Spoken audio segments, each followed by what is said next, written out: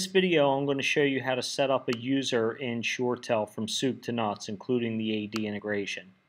So for the TLGs, you'll access Zinc via Cord.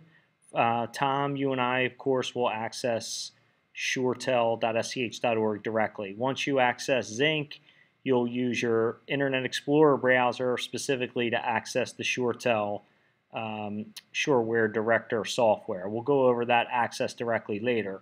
But now I'm here and I want to create a user. I want to create Allison O'Neill. So what I'll do is I'll click individual users, then I'll select go. I'm going to check this AD box, SCH backslash username. And I'll hit sync from AD. If I get an error here, I would know I probably spelled the name wrong or the user doesn't exist in AD. So you'll see the name auto-populates. I'm going to assign extension 6041 to Allison. If you're unsure of extension, you can look up SCH phone numbers. That Google spreadsheet should give you what you need. Allison's getting an extension and a mailbox. Some users just get voicemail. They don't have a physical phone. And now I'm going to assign a phone to her. So under primary phone port, I'm going to select a phone that's currently not in use, and I'm looking for one that ends 05E9 as the last four of the MAC. There you go. I got it.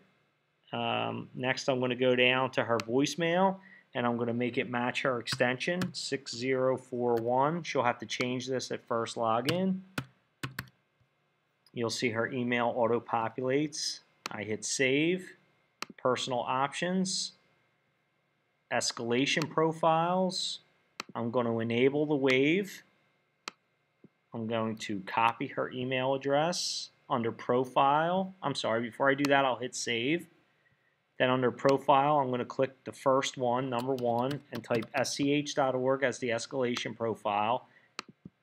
And then I'm going to paste in her email address and hit save.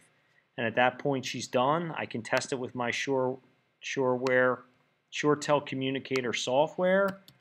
If I start typing in Allison's name, You'll see there's my options, and if I call it, I hear her phone ringing. And I'll cancel, and we're all good. Now the phone can be deployed.